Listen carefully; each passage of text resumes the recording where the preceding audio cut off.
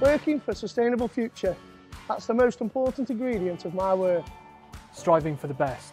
That's the most important ingredient of my work.